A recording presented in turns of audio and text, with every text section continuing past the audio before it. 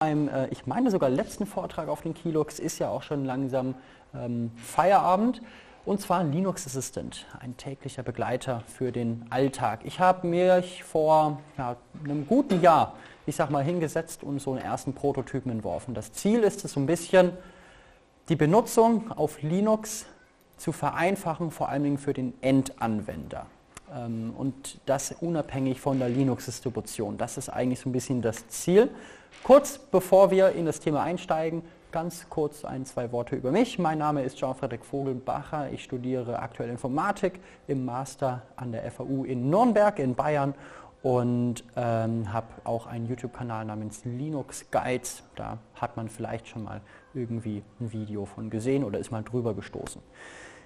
Genau. Ähm, Flutter-Programmierung, das ist ein spezielles Frontend, womit ich das programmiert habe, was auch der Linux-Assistent nutzt, mache ich seit 2022, also auch seit letztem Jahr. Jetzt mittlerweile zwei Jahre werden es fast hin. Also ich glaube Anfang 2022 habe ich, hab ich damit angefangen.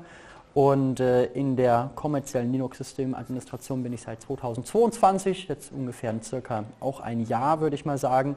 Ähm, und äh, ich habe das Projekt auch selber ins Leben gerufen und wir haben jetzt vor, ich meine, nicht allzu langer Zeit die 10.000 Downloads endlich geknackt. Also das Ding findet auch im deutschsprachigen Raum als auch im englischsprachigen Raum immer mehr ähm, Beliebtheit, obwohl wir jetzt eigentlich gar nicht so richtig viel Werbung gemacht haben, bis auf den eigenen Kanälen. So sieht das Ding aus. Wir werden auch gleich eine Demo sehen. Ähm, genau, es wurde auch schon relativ viel Wert auf das Aussehen gelegt, weil das Auge ist mit. In gewisser Weise habe ich am Anfang das gar nicht, erstmal gar nicht so richtig verinnerlicht. Ich wollte eigentlich nur ein Tool, was funktioniert, ähm, aber das hat sich dann irgendwie so ergeben. Und äh, da nimmt mir Flutter einiges ab, auch wenn es mal wieder andere Bausteine in den Weg wirft, weil es relativ neu ist. Das einzige Linux-Programm, was jetzt auch Flutter nutzt, ähm, ist der neue Ubuntu-Installer. Ne? Vielleicht habt ihr den schon mal gesehen. Der sieht ganz ehrlich fast so ähnlich aus wie der alte. Aber da ist halt eine neue Oberfläche drunter.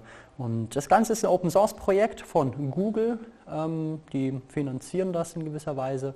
Steht jetzt aber auch schon, ich meine, länger auf eigenen Beinen und be, ähm, ja, erfreut sich eine großer Beliebtheit, vor allen Dingen, weil man das Ganze für alles entwickeln kann und das nativ dann runterkompiliert wird. Das heißt, ich kann fürs Web etwas entwickeln, für Linux, Windows, Mac, als auch für die Smartphones. Von daher habe ich mir gesagt, hey, das äh, sollte man mal können und es sieht eigentlich ganz schick aus. So, jetzt kommen wir aber zum Linux Assistant selber. Das Konzept habe ich euch ja schon mal ganz, ganz grob vorgestellt. Wichtig ist eine schnelle Suche, ähm, dass ich so schnell wie möglich auch etwas finde auf meinem Rechner, was das für verschiedene Sachen sein können, kommen wir gleich dazu. Ähm, dann möchte ich mein System in gewisser Weise auf einfacher Ebene ähm, administrieren und eventuell auch verschiedene Statistiken anzeigen lassen, um einen groben Eindruck über mein System zu bekommen.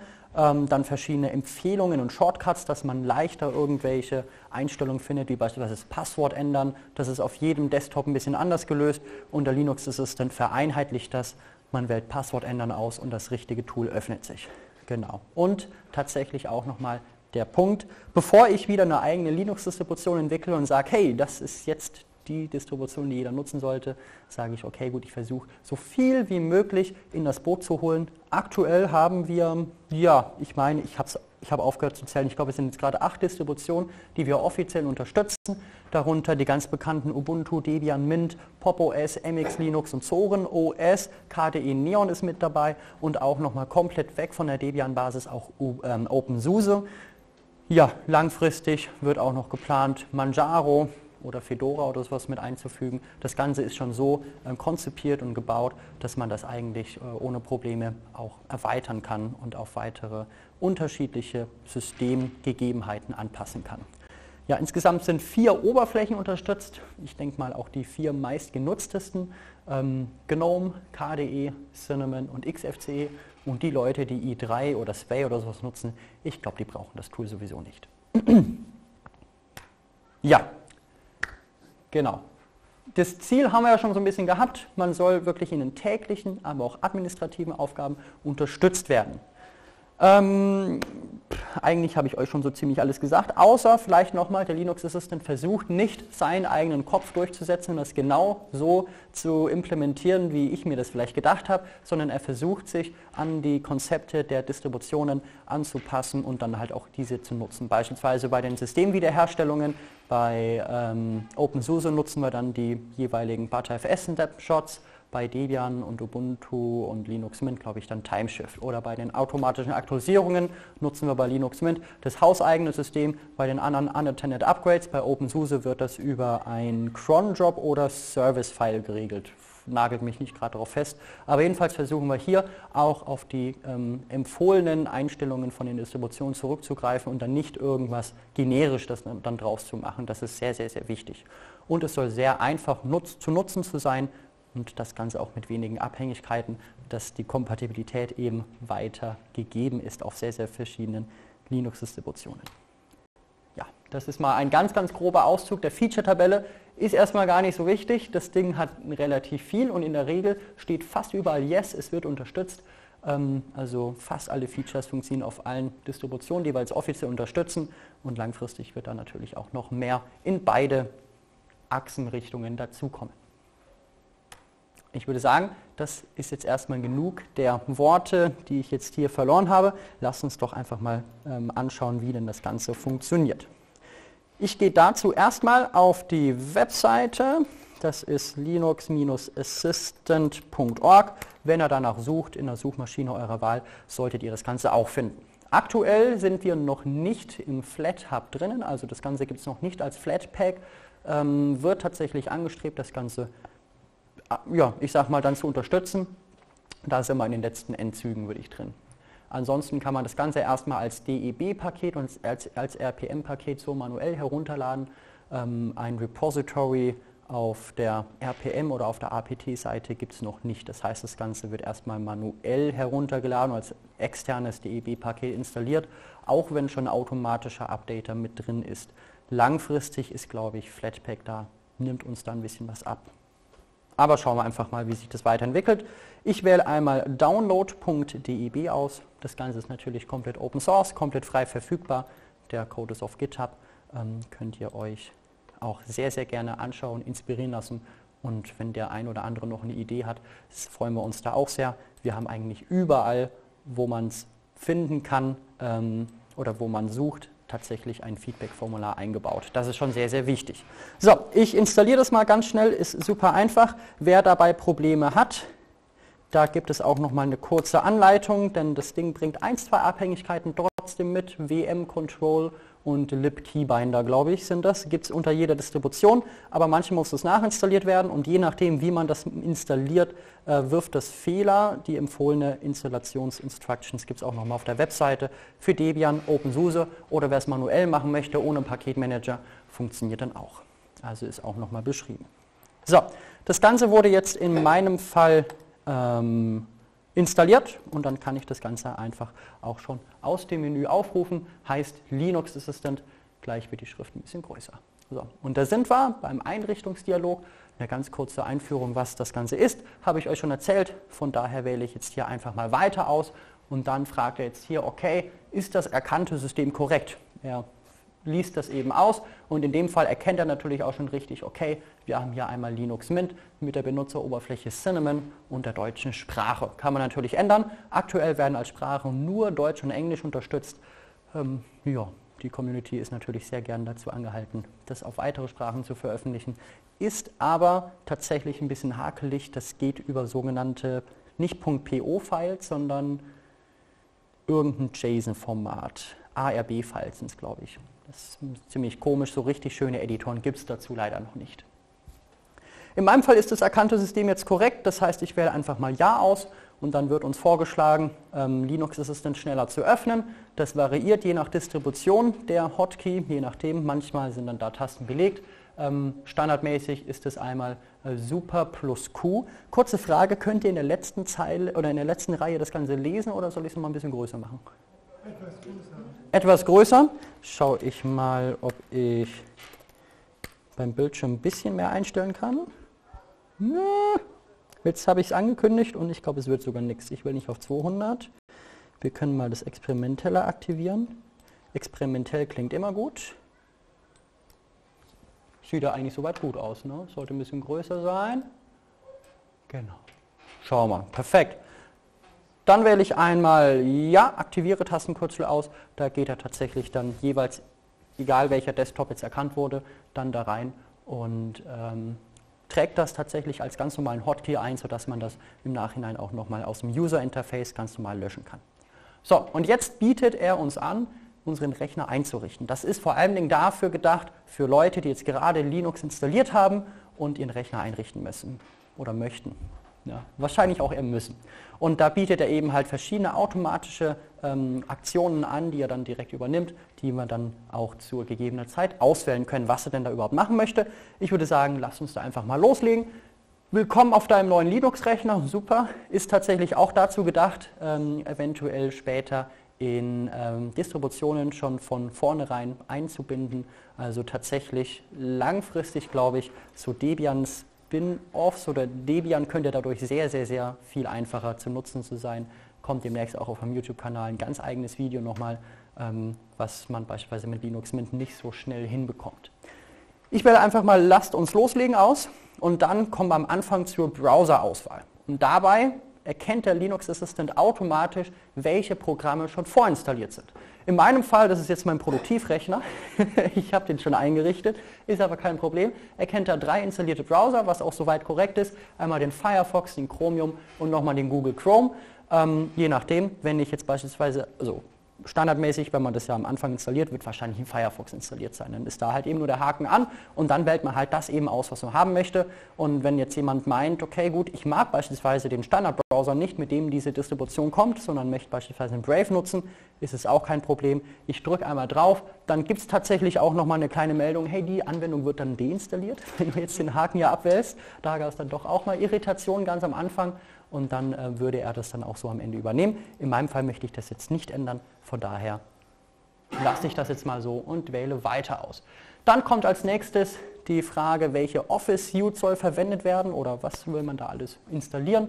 Haben wir einmal LibreOffice, OnlyOffice und WPS Office drin. Ähm, das Ganze wird tatsächlich aus dem Flat Hub geholt. Also ähm, ich äh, habe da bis jetzt noch nicht ähm, die Verantwortung aufnehmen wollen, dass man sich das selber aus Fremdquellen nochmal zusätzlich bezieht. Das ist mir einfach aktuell persönlich zu heiß, das sollen die FlatHub-Leute machen. Dann bin ich da fein raus aus dem Schneider sozusagen. Ja, was vielleicht auch auffällt, die System-Icons werden vom ähm, Linux übernommen. Also je nachdem, in dem Fall habe ich jetzt das Linux Mint-Thema, von daher sieht LibreOffice auch so aus, wie auf Linux Mint es aussieht. Wenn ihr ein anderes Icon-Thema habt, dann lädt er das auch dementsprechend. Also er passt sich oder versucht sich so gut wie möglich an das Linux anzupassen. Dann haben wir noch mal ein bisschen was an Kommunikationssoftware. Da habe ich sogar schon relativ viel installiert ähm, wählt man eben das aus, was man möchte. Was man hier vielleicht auch gut erkennt, was wir auch schon in den anderen Folien gesehen haben, ähm, wir versuchen erstmal Open Source Software zu promoten, in Anführungszeichen, oder vorzuschlagen. Die steht immer ganz oben. Wir möchten aber auch natürlich die Nutzerfreundlichkeit weiter oben halten und Leute, manche Leute brauchen halt Zoom oder Teams oder sowas in der Hinsicht oder Discord jetzt beispielsweise, sind auch sehr bekannte Anwendungen. Das ähm, soll man jetzt auch relativ einfach erreichen, ist aber immer in der Regel ja, am Ende dann, ich sag mal, als Option gegeben. Ich lasse es jetzt in meinem Fall so. Kann man natürlich auswählen, wie man möchte. Und das war jetzt die Softwareauswahl. Jetzt geht es weiter bezüglich, okay, möchte ich meinen Rechner jetzt selber einrichten oder wähle ich die automatische Konfiguration aus. Und in dem Fall wähle ich jetzt mal die automatische Konfiguration aus. Ich möchte euch ein bisschen was zeigen. Ansonsten würde ihr auf der linken Seite ganz einfach jetzt die Änderung übernehmen, das Ganze installieren. Ähm, je nachdem geht da ganz normal über die klassischen Paketmanager. Ähm, also macht da kein großes Hexenwerk. Ähm, es wird versucht, so nah wie möglich oder das System genauso zu nutzen, wie es ein richtiger Nutzer benutzen würde, aber ihm halt, ich sag mal, so ein bisschen das Technische abzunehmen. Werden wir auch gleich nochmal sehen. Dann haben wir einmal die automatische Systemkonfiguration und dann haben wir hier verschiedene ja, Einstellungen bzw. Ähm, Skripts, die wir hier ausführen können. Einmal aktualisiere das System auf den neuesten Stand, auf jeden Fall immer empfohlen. Dann installiere Multimedia Codex. Hier erkennt er natürlich auch, okay, ich bin gerade auf Linux Mint, dann brauche ich das Paket, bei Debian brauche ich das Paket, bei OpenSUSE muss ich das machen und so weiter. Automatische Systemschnappschüsse habe ich euch schon vorhin einmal kurz erklärt. Ähm, genau, kann man hier, wie gesagt, wenn man einmal drauf drückt, abwählen oder halt wieder anwählen. Ich wähle das jetzt mal ab, das möchte ich in meinem Fall jetzt nicht, weil es ein Produktivsystem ist, habe ich glaube ich ein bisschen anders eingestellt. Ähm, automatische Konfiguration der Aktualisierungsverwaltung habe ich vorhin auch schon mal erwähnt, dass er das hier machen würde. Kann man auch nochmal separat im Menü auswählen, später zeige ich euch gleich. weil wir sind immer noch in der Einrichtung, wir haben noch das eigentliche Programm wenig gesehen bis jetzt. So, in meinem Fall belasse ich es jetzt dabei und dann wähle ich jetzt einmal weiter aus und dann macht er das Ganze auch schon.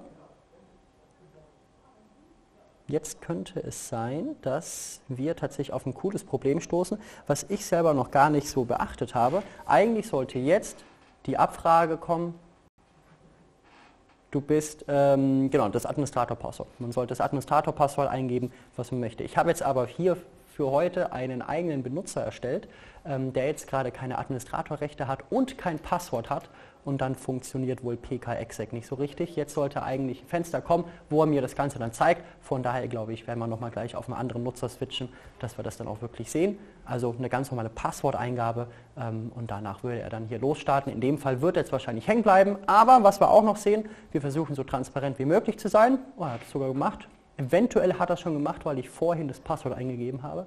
Das wird sein. Ähm, können wir gleich mal nachschauen. Ihr habt eben die Befehle eingeblendet, gesehen, was das Ding wirklich macht, um das einfach nochmal ein bisschen transparenter zu gestalten. Ähm, genau, und jetzt schauen wir mal den Log, was er gemacht hat. Und das sieht soweit eigentlich gut aus. Also hat hier einmal ein apt-Update ausgeführt, sehen wir hier einmal. Ich weiß nicht, ob man es gut sehen kann. Ich lese es mal ganz kurz vor und dann kann man sich das anschauen, was er da so alles macht. In meinem Fall hat es jetzt gereicht. Ich schließe das und ich wähle einmal weiter aus. Genau, und jetzt kommen wir eigentlich zur Einführung was kann man denn alles mit dem Linux Assistant sonst noch machen, als einen Rechner einrichten? Und das ist erstmal vor allem eine sehr, sehr starke Suche. Also wir können natürlich einmal Anwendung durchsuchen. Wow, haben wir im Menü jetzt erstmal nicht so wild. Aber Linux Assistant durchsucht auch in gewisser Weise eure Ordnerstruktur. Das alles geschieht lokal, da wird nichts irgendwo hingesendet ist komplett Open Source, könnt ihr euch selber auch nochmal anschauen, wie das geht. Ist ein ganz einfach rekursiver Befehl, der ausgeführt wird, den man auch noch später konfigurieren kann. Und wenn man so etwas generell nicht möchte, kann man das auch sehr einfach ausschalten in der Suche gleich. Kann ich euch auch nochmal gleich zeigen. Also dann können wir schon erstmal die wichtigsten Ordner finden. Dann können wir die zuletzt geöffneten Dateien finden. Jetzt wird es ein bisschen spooky, sagt er euch vielleicht. Oh, der weiß, welche Dateien ich als letztes geöffnet habe. Das speichert eigentlich fast jeder Desktop direkt automatisch mit in einer gewissen Datei, was einfach jeder auslesen kann. Das macht sich der Linux Assistent zunutze. Wenn man das auch nicht machen möchte, ähm, dann kann man das natürlich auch ausschalten. Und dann geht er auch in die Webbrowser rein, einmal Chromium, Brave, äh, Google Chrome und Firefox und liest auch die Lesezeichen aus. Das heißt, er indexiert auch die Lesezeichen. Das funktioniert allerdings nur bei lokal gespeicherten Lesezeichen, solange ihr die Online-Synchronisation von diesen Browsern aktiviert funktioniert es aktuell nicht, weil der Browser das irgendwo anders in einem Cache ablegt und das ist nicht so schön rauszubekommen. Aktuell. Vielleicht finden wir noch lang, langfristig eine Lösung. Dann nochmal spezielle Funktionen des Linux Assistants. Wird nochmal ganz cool. Und äh, das wäre es erstmal. So, und dann bereitet er jetzt uns die Suche vor. Und wir haben jetzt hier einmal unser Linux, also unsere, unsere Startfläche. Haben wir ja schon einmal im Screenshot so gesehen, jetzt sehen wir es tatsächlich live. Wir haben einmal, ich würde einfach mal sagen, wir zeigen uns das, wir gehen es einfach mal durch. Hier unsere Festplattenanzeige. Was für Festplatten sind eingehängt, bzw. Partitionen und zu wie viel Prozent sind die belegt. Wenn ich mit der Maus drüber gehe, dann sehe ich auch ganz, ganz genau nochmal, okay, wie viel Gigabyte sind gerade belegt und wie groß ist meine Partition eigentlich. Und das zeigt auch bei USB-Sticks an, wenn ich die anstecke oder ausstecke, ähm, in dem Fall habe ich jetzt zwei Partitionen und dann sehe ich direkt, okay, wie ist das eigentlich mit meinem Speicherplatz gerade. Dann sehen wir hier nochmal eine Realtime-Anzeige äh, vom Prozessor, vom Arbeitsspeicher und vom Swap. Gut, ist jetzt auch erstmal noch nicht so wildes. Ähm, und dann aber hier auch nochmal ähm, unseren Benutzernamen, als den wir das gerade ausführen, ähm, als unseren Rechnernamen und dann auch nochmal Informationen zum Betriebssystem allgemein. Ist vor allem ganz cool, wenn man mehrere Rechner auf einmal nutzt oder ganz viele Rechner hat. Die wichtigsten Informationen bekommt man dann direkt schon vom Startbildschirm raus. Ja. Dann haben wir natürlich noch einmal die Suche. Da gehen wir gleich mal drauf ein. Ist ungefähr so einfach gestaltet wie vielleicht bei der einen oder anderen Lieblingssuchmaschine. Das Ding soll so einfach wie möglich zu bedienen sein, dass es auch wirklich jeder kann. Unten haben wir dann immer noch mal einen Tipp, was man gerade machen könnte. Das wäre die Sicherheitsüberprüfung. Linux Assistant kommt auch mit einer eigenen Sicherheitsüberprüfung daher. Was es genau ist, das zeige ich euch gleich nochmal. Ansonsten kann man nochmal den Suchindex erneuern, ähm, einmal nochmal die Einführung lesen, ähm, dann tatsächlich eine komplette Funktionenübersicht hier unten bekommen. Dann bekommen wir hier tatsächlich alle Funktionen gelistet, die der Linux Assistant so kann. Und ähm, genau, ne? von einem ganz normalen Exit, angelehnt an den Terminal-Befehl, äh, bis zu Passwortänderung, Einführung, Aktualisierung, alles Mögliche.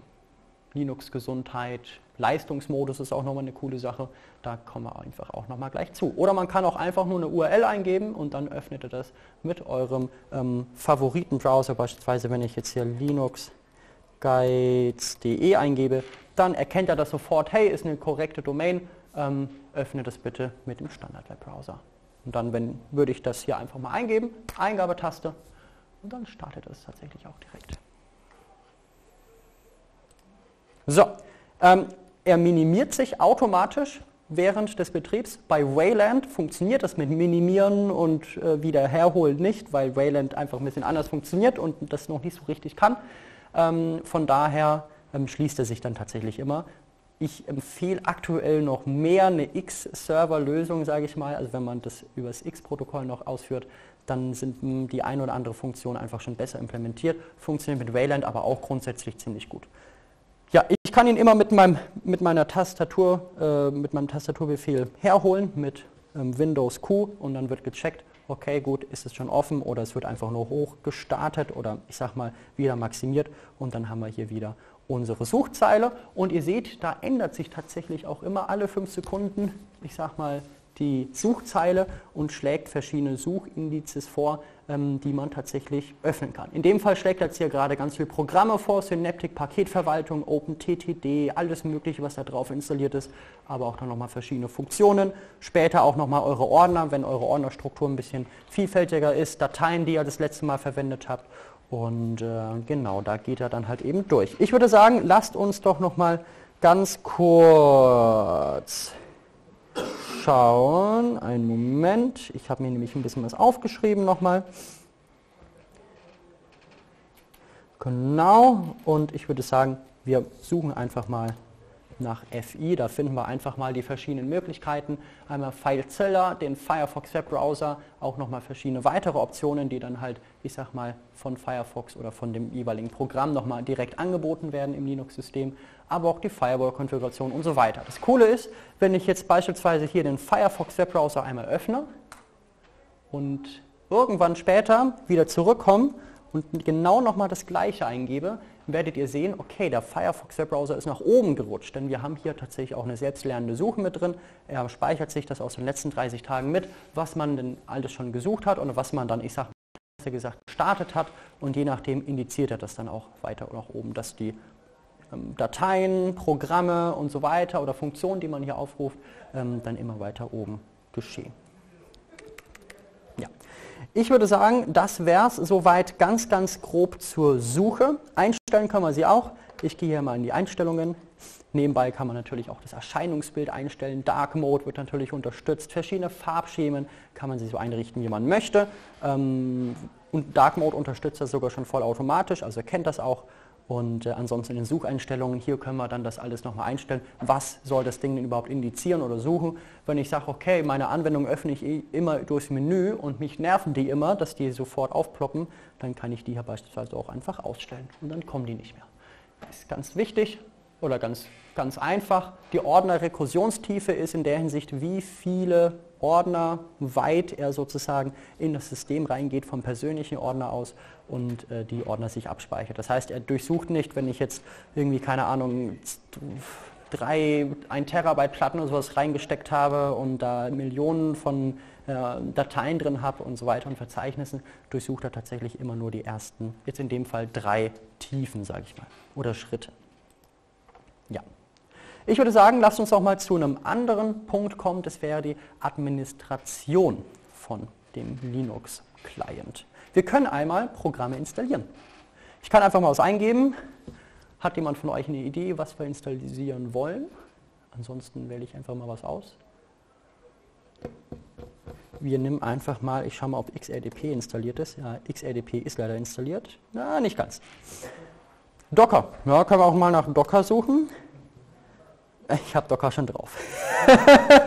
Aber wir sehen hier auf jeden Fall nicht einmal nur die Installationsmöglichkeiten, wobei hier installiere Docker haben wir noch drin. Ich habe Docker Compose, Docker.io und so weiter. Er liest dann halt das Ganze von APT aus.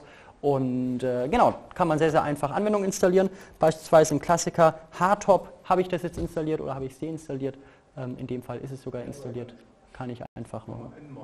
Nmon? Nmon. Dann lerne ich noch mal ein bisschen was. Nmon, da haben wir es. Das da. Na, machen wir doch einfach mal. Ich gebe die Eingabetaste ein und dann installiert er das Ganze auch schon. Genau. Ist natürlich live. Schauen wir mal, wie groß das Paket ist. Ist klein, ja. So, genau, das kann er machen. Und dann würde ich sagen, schauen wir uns gleich mal die Sicherheitsüberprüfung an, was das Ding denn macht. Ich will mal weiter aus. Und dann geht es zur Sicherheitsüberprüfung. Ich gebe einmal, gehe einmal rein. In der Regel erscheint das Passwort. Also hier macht das tatsächlich über pkexec. Ist es so konfiguriert, witzigerweise, dass er das gar nicht abfragt. Aber wenn pkexec das erlaubt, das ist immer nur dieses Passwortfenster, ähm, dann wird das wohl so sein. So, in dem Fall hat jetzt hier mir verschiedene oder er prüft nach verschiedenen Kriterien. Er sagt nicht am Ende so, hey, dein Rechner ist sicher, alles super, das kann ich nicht verantworten. Ich sage ihm genau, was ich überprüfe und ähm, genau, gebe ihm dann direkt auch Hinweise. Beispielsweise habe ich jetzt hier eine zusätzliche Paketquelle, packages.microsoft.com, ähm, Repos Code. Also ich habe Visual Studio Code jetzt hier drauf installiert. Sagt er mir einfach, hey, du hast eine Fremdquelle, bitte achte darauf oder habt das in, in, in, in Acht. Wenn ich möchte, kann ich hier auf Beheben drücken und dann öffnet er je nachdem, auf welcher Distribution er ist, das spezielle Programm, das dann halt, ich sag mal, beispielsweise auszuschalten. Dann haben wir die Aktualisierungen, super, dein System ist auf dem neuesten Stand, perfekt, und ähm, passt soweit. Ansonsten würde er hier auch einen Beheben-Button anzeigen und sagen, so und so viel muss aktualisiert werden. Beim persönlichen Ordner äh, sagt er jetzt hier, dein persönlicher Ordner ist nicht sicher. Andere Benutzer können deine Dateien sehen. Das ist in dem Fall jetzt, er checkt, ob ähm, im persönlichen Ordner, ob dort die Gruppe andere, also Other, Zugriff hat, lesenden Zugriff. Und in dem Fall hat, ist es wahrscheinlich jetzt der Fall. Linux Mint hat jetzt hier einen neuen Benutzer erstellt und achtet wohl nicht drauf. Das heißt, andere Benutzer könnten gerade meine Dateien sehen. Will ich nicht. Ähm, das ja, sagt er direkt hier. Ich wähle einmal Beheben aus. Und dann macht er das hier schon automatisch, analysiert das Ganze nochmal neu. Und wenn alles geklappt hat, müsste das dann grün sein. Das dauert ein Momentchen, weil er führt immer ein sudo apt Update währenddessen aus. Ansonsten haben wir nochmal die Netzwerksicherheit, da war jetzt schon alles grün. Er checkt einmal ab, ob eine Firewall aktiv ist und checkt dann auch nochmal ab, ob systemkritische Dienste aktiv sind. Also XRDP beispielsweise, SSH, wenn SSH installiert ist, beispielsweise ob Fail-to-Ban drin ist und so weiter. Und äh, in dem Fall sagt er, okay, deine Firewall ist aktiv, gute Arbeit. Er sagt jetzt nicht, diese und diese Ports sind offen, das wäre vielleicht nochmal eine Idee, dass es einfach nochmal als Information rausgibt. Ähm, in dem Fall habe ich jetzt gesagt, okay, wenn der Nutzer die Firewall äh, selber mit drin hat, dann wird er schon wohl wissen, was da aktiv ist. Und beziehungsweise die systemkritischen Sachen, die werden dann auch nochmal aufgelistet, die, ich sag mal so gängige, ähm, ich sag mal, Dienste sind, die Einfallstore bilden könnten. Genau, das wäre es zur Sicherheitsüberprüfung. Und dann haben wir beispielsweise nochmal die Linux-Gesundheit. Das ist jetzt eigentlich auch gar nicht mehr so wild. Kann man dann tatsächlich doch mal ein bisschen reinschauen okay, wie geht es meinem System gerade? Beispielsweise, deine Partitionen sind nicht überfüllt, perfekt, ab 90 Prozent meldet es sich da hier. Es wurden keine entfernbaren Speichermedien entdeckt. Wenn man die ganze Zeit irgendwelche USB-Sticks oder externe Festplatten drin hat, dann würde er das auch melden. Er zeigt die aktuelle Auslastung aus, ähm, wie lange das System schon läuft. Wenn es schon mehrere Tage läuft, dann meldet er sich so, hey, vielleicht lohnt sich das mal, das System neu zu starten, um da einfach zu schauen, dass da alles korrekt läuft, langfristig auch. Und äh, er checkt auch tatsächlich den Auslagerungsspeicher. Auf Linux Mint haben wir hier gerade tatsächlich, weil wir da was umgestellt haben, noch eine fehlerhafte Information. Ähm, Das wird zum nächsten Update natürlich dann nicht mehr so sein. Bei den anderen Distros funktioniert es wie eh und je. Ähm, zeigt einfach an, okay, ist ein Aussagespeicher da oder ist es gerade nicht. Genau, das wäre es soweit eigentlich zur Administration. Eine Sache würde ich vielleicht noch mal zeigen. Wir haben schon 30.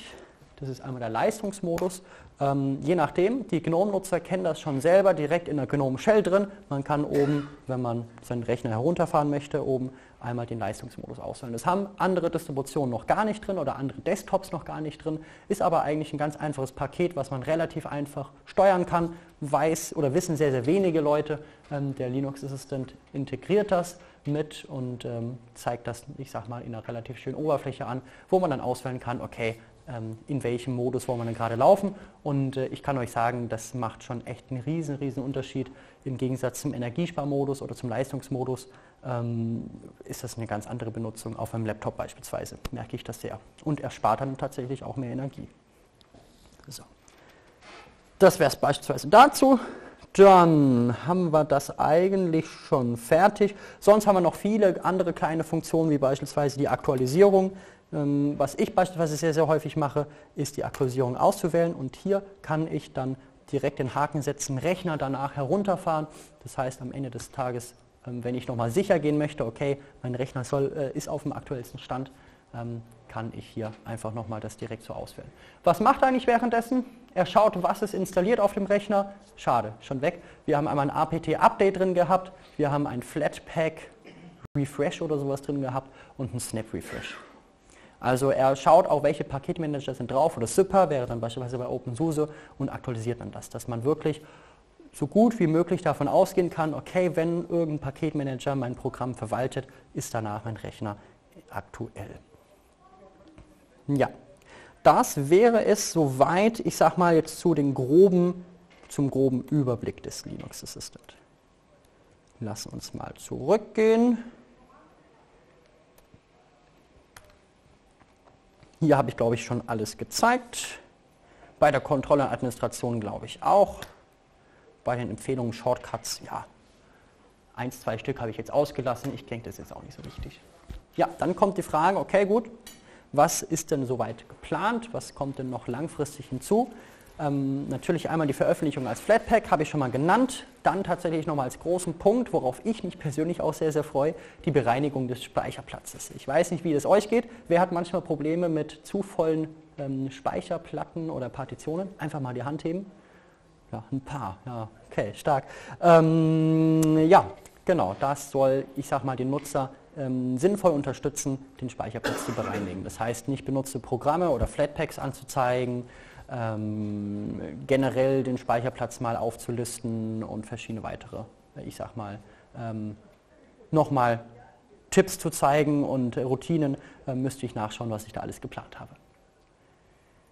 Dann einmal die Installation von Snaps. De Snaps deinstallieren können wir sogar schon, installieren noch nicht. Ist so eine kleine Sache, die jetzt, äh, ich sag mal, einfach operationsbedingt geschehen ist. Dann kann man auch den Snap-Paketmanager komplett drin nutzen ähm, mehrere Linux-Distributionen unterstützen. Wir bekommen ganz, ganz häufig die Anfrage, hey, wann ist denn endlich Manjaro drin?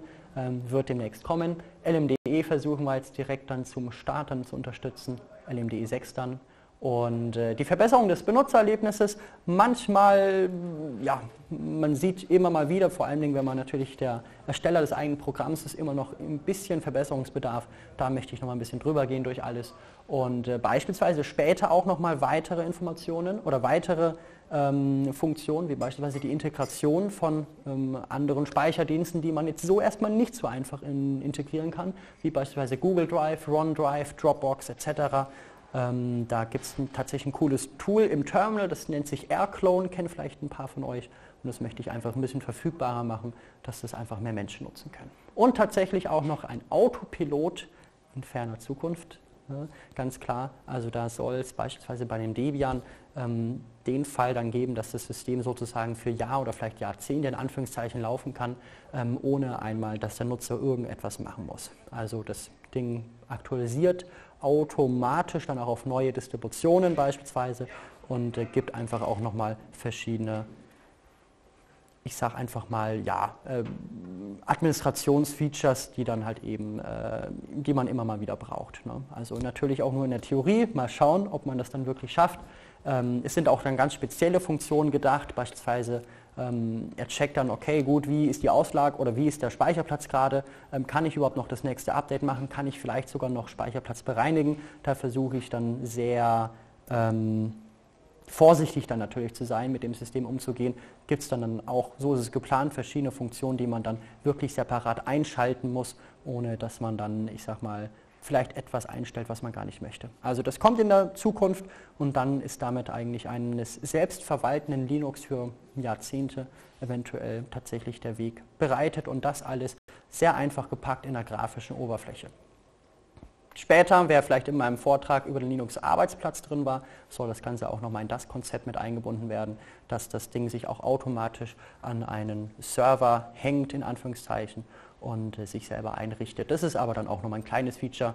Ähm, es sind auch beispielsweise in Gesprächen mit bestimmten ähm, ja, Leuten aus der Community, die beispielsweise Windows-Programme relativ aufwendig per Wine mit einbinden, dass man da dann einfache Skripts mit implementiert und dann so den Linux-Assistant auch nochmal darüber hinaus erweitert. Plugin-Support ist auch langfristig, sehr, sehr langfristig geplant, ähm, dass man auch sehr, sehr einfach eigene, ich sag mal, Module dafür schreiben kann.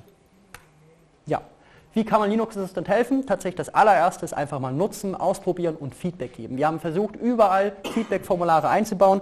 Ist uns sehr, sehr wichtig. Beispielsweise hier direkt unten können wir Feedback senden.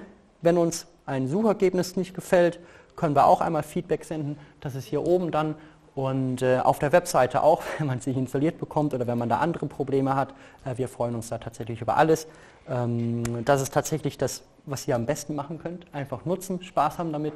Ähm, ansonsten sehr gerne weiterempfehlen natürlich. Und äh, genau, wer natürlich uns weiter unterstützen möchte, gerne detaillierte Fehler melden, detaillierte Ideen vielleicht auch nochmal, was man damit machen könnte. Und, äh, aber auch beispielsweise die Programmierung. Ne? Wobei, da muss man dann so ein bisschen sich in Flutter auskennen und ähm, genau, ist vielleicht manchmal nicht ganz so trivial, da dann einzusteigen. Aber wir freuen uns über jeden, der da Lust hat, in irgendeiner Art und Weise mitzuwirken. Genau. Das wäre es eigentlich auch schon vom Linux Assistant gewesen. Wenn es noch Fragen gibt oder nochmal, ich sag mal, Ideen, was ich jetzt noch gerne, gerne nochmal zeigen möchte im Linux Assistant, dann sehr gerne jetzt. Ist der auch in offiziellen Repos verfügbar? Oder? Er ist aktuell noch nicht in den offiziellen Repos verfügbar. Langfristig ist das tatsächlich, kann es ein Plan sein. Ähm, aktuell visiere ich es jetzt erstmal nicht an, weil ich mich persönlich nicht mit, keine Ahnung, Repos von zehn Distributionen rumschlagen möchte selber. Ähm, das ist ein bisschen schade, von daher gehe ich da eher auf, den Flat -Hub, auf das Flat Hub, dann bin ich direkt in, in den Distributionen so über die Anwendungsverwaltung mit drin. Das ist der Hint da. Aber ansonsten, theoretisch kann sich das jemand packen, kann, es gibt einen sehr, sehr einfachen Bildbefehl und dann ist das DEB-Paket innerhalb einer Minute erstellt und man braucht gar keine Kenntnisse davon. Bei der Wahl von Flutter vielleicht auch der Hintergedanke, wenn, äh, du das weiter ausbaust, dass du das auf äh, Linux-Systeme, äh, die auf äh, Smartphones funktionieren, dann auch einfach portieren kannst?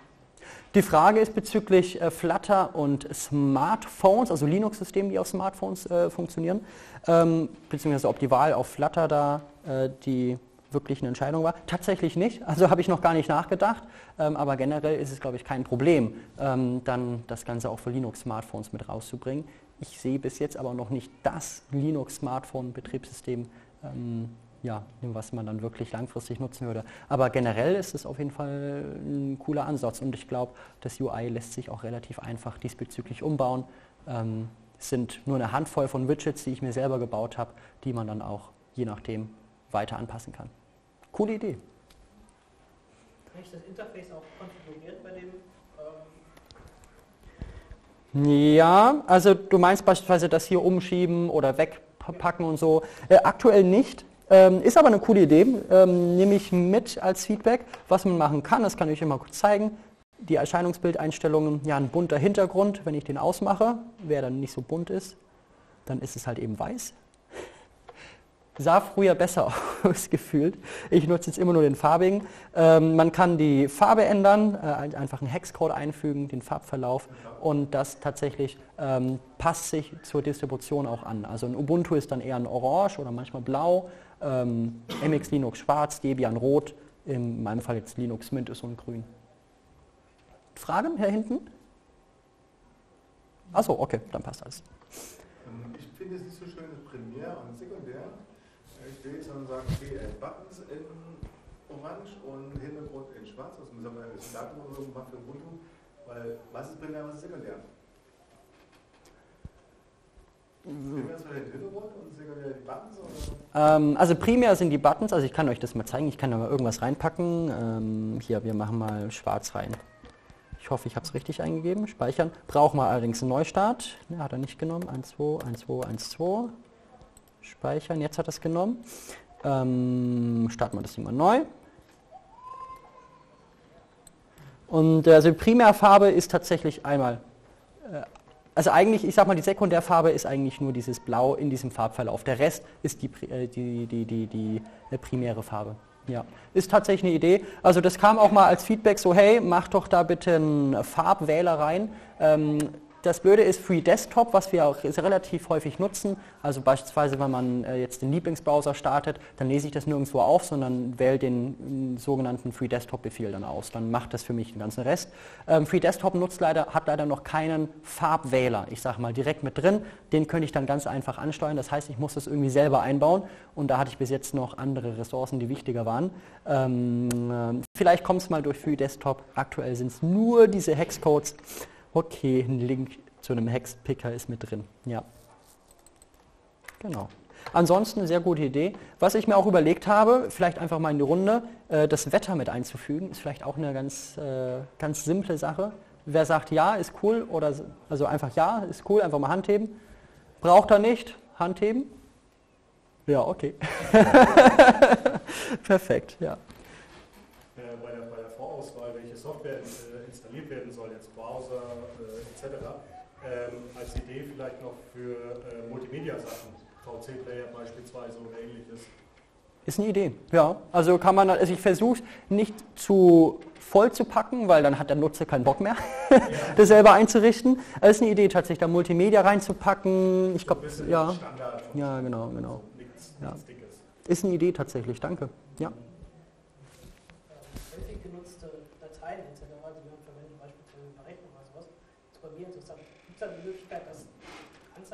Ja, also macht das schon automatisch. Also ähm, wenn ich jetzt, ich habe leider hier einen Testnutzer, wenn ich jetzt hier Rechnung eingeben würde, bei mir am richtigen System ploppen alle Rechnungen auf, die ich in den letzten 30 Tagen geöffnet habe. Ist teilweise sehr hilfreich. Oder ich habe jetzt beispielsweise diese Präsentation geöffnet. Wenn ich jetzt hier Index HTML öffne, dann findet ihr tatsächlich auch die beiden Präsentationen, die ich heute gemacht habe, Linux Arbeitsplatz, Linux Assistant, die könnte ich dann direkt öffnen und dann hier weiter bearbeiten beispielsweise. Ja. Er öffnet dann immer das Standardprogramm von der jeweiligen Distribution. Backup-Funktion zum Beispiel, für, äh, äh, um das System auf eine externe Festplatte zum Beispiel zu speichern. Sehr gute Idee. Bis jetzt verwende ich immer dafür Pika-Datensicherung, weil das gefühlt die mhm. eierlegende Wollmilchsau ist. Äh, ist vielleicht eine Idee, das nochmal da weiter einzubinden. Cool, ja, nehme ich alles mit. Gott sei Dank ist ja die Aufnahme da. Weitere Ideen, Anregungen, Fragen? Dann bedanke ich mich ganz herzlich. Ähm, schaut gerne auf linux-assistant.org vorbei, sucht danach einfach im Internet, probiert es einfach mal aus. Ich würde mich riesig freuen und vielleicht schaffen wir demnächst auch schon die 20.000 Downloads. Dankeschön.